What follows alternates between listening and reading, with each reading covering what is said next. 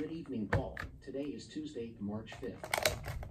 I found one of these text-to-speech things and have been playing with it for the better part of an hour.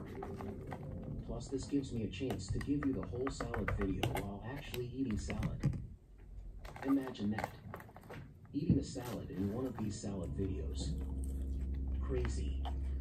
What a wild concept. Cheers. I can also have this dude say whatever. Just watch. Butthole. Anyways, I should get back to work and stop typing butthole on my work computer. Love you, Paul.